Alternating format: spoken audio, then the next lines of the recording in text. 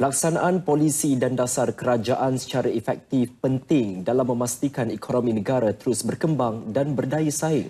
Menurut Ketua Makroekonomi, Amalan Perdagangan dan Pelaburan Global bagi Rantau Asia Tenggara dan Pasifik Bank Dunia, Dr. Diame Diop, ia antara aspek yang perlu diberi perhatian terutama dalam mendepani isu kos sara hidup di negara ini.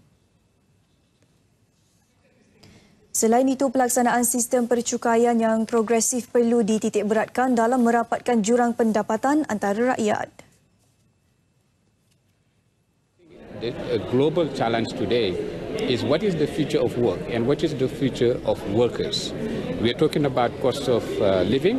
That is very relevant because the extent to which new technology will create new opportunities or new jobs opportunities or dis disrupt um, uh, existing jobs will affect people's income and will affect the extent to which they can deal with rising cost of, of living.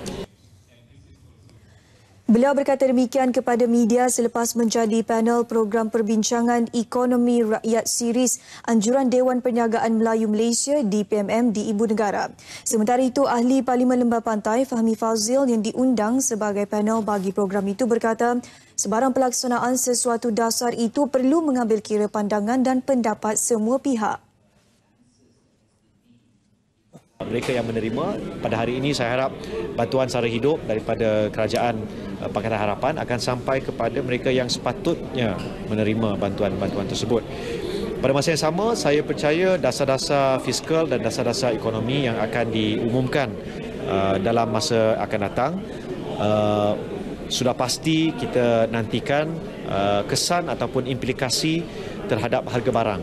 Dan uh, saya berharap uh, Putrajaya akan lebih sensitif uh, untuk memastikan uh, apa juga uh, pengumuman ataupun dasar yang dibuat uh, akhirnya ia akan mendatangkan kesan yang positif untuk rakyat.